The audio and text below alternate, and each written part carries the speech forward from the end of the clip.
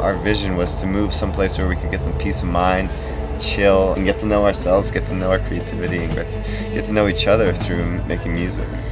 Coming out here, we found ourselves um, surrounded by such beauty. It was really simple to just create from ourselves and, and create genuinely unique music.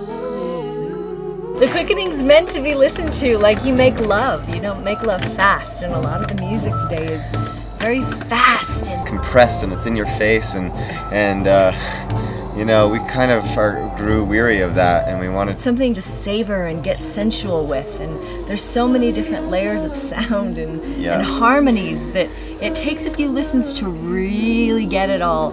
But once you do take that time, it's an amazing, amazing journey, and uh, just like making love should be. and uh, I, I suggest you just open a fine bottle of wine, sit down for an hour, and, and give it a listen and enjoy. We're putting out 22 songs, and that's on the main album, which is called The Quickening. And we have a companion record, which is called The B-Sides.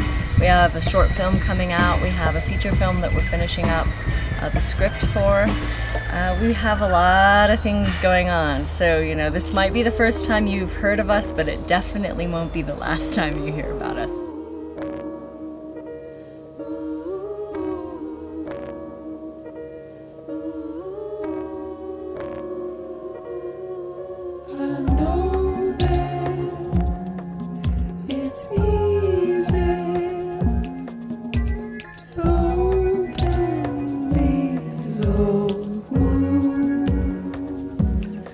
what you can